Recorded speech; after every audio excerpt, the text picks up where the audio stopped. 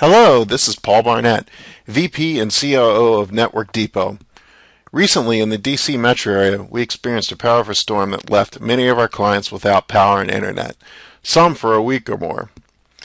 This got me thinking. Uh, as business executives, we rarely take the time to consider how we will run our businesses when interruptions like these occur.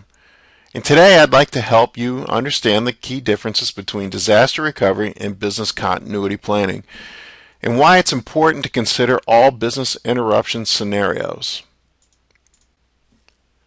The first big mistake that I see is that many businesses live under the false assumption that if their data is backed up, they are good to go when a problem strikes. Nothing can be further from the truth. Backups are only a small component of a comprehensive disaster recovery and business continuity plan. It's important not just to back up your data, but to have a well thought out plan in place when disaster or interruptions do strike.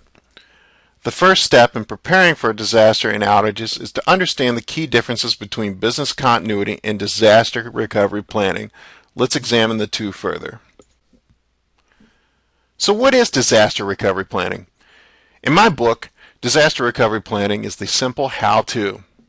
In most businesses, this equates to the method of recovering from their backups when a major disaster strikes.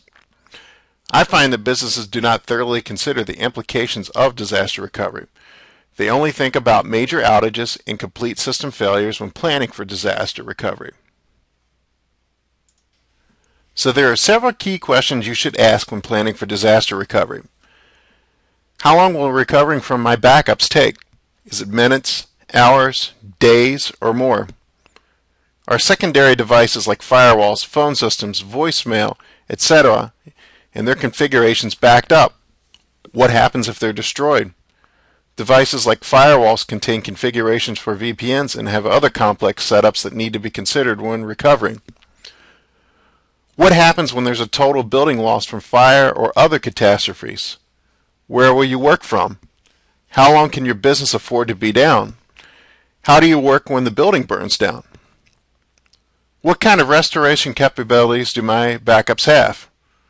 Do they only restore files? Can my servers be restored to their previous state or do they have to be rebuilt from scratch? Can databases and applications be restored correctly to their previous state? What about software licensing for complete system failures? Will I have to buy new licenses? How long does the recovery process take? How does my business run in the meantime while we figure these things out? So what is business continuity planning then? I've heard business continuity described as a state of being more so than a plan. It's the method of considering all possible interruptions to business and contingencies for overcoming them. There is a lot more to business continuity planning than simple disaster recovery plans. Backup and disaster recovery is only a small part of business continuity planning. Imagine being without power or internet for a week, two weeks, or even more. These scenarios are not considered in a typical backup and recovery plan. Business continuity planning considers all possibilities and interruptions to business and ways of dealing with them.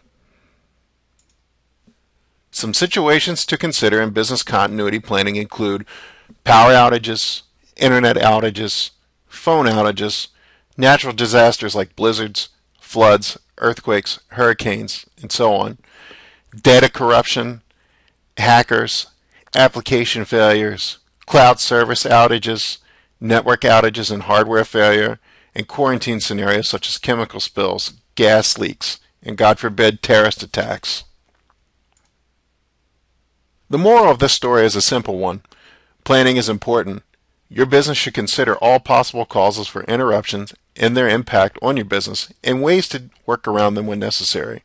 A small bit of planning and forethought now will save you a ton of lost business, money, and headache later. For more information, visit us on the web at www.networkdepot.com or give us a ring at 703 264 7776. Thanks for taking the time to watch our video today.